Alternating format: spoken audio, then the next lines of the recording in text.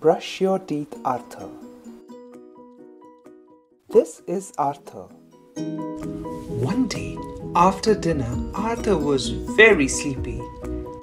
Good night. I'm going to sleep now. Don't forget to brush your teeth. Reminded his mummy. Can I please have a no brush day? Pleaded Arthur. Ah! Oh, a no brush day again? This will land you into teeth trouble, mister. Warned his dad. But deep inside his white, pearly chiclets, someone was listening to this entire conversation. It's a no brush day again, peeps. There's ice cream in the house. Time to party. The bacteria announced. Thousands of bacteria were overjoyed by this news. Didn't I tell you? This place is heaven on earth. Believe me, Arthur will look awesome with black and brown teeth. White really doesn't suit him.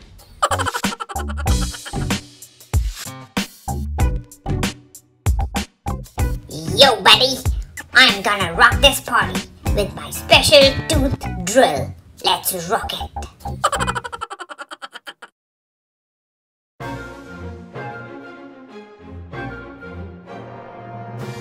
It was a crazy night.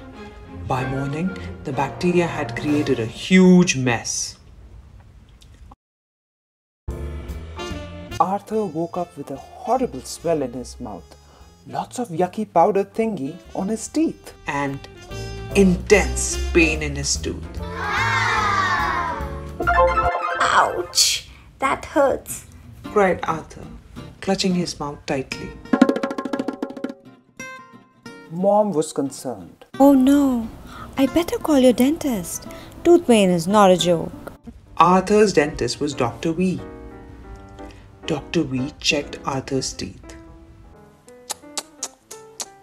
Someone hasn't been brushing his teeth properly. I can see lots of black and cavities. He tutted disapprovingly. He applied a solution to Arthur's teeth, Your plaque and bacteria will be stained purple. explained the doctor. That's a lot of bacteria. Gasped Arthur.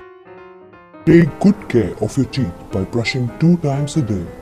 You don't want to lose all your teeth, do you, Arthur? Winked Dr. Wee.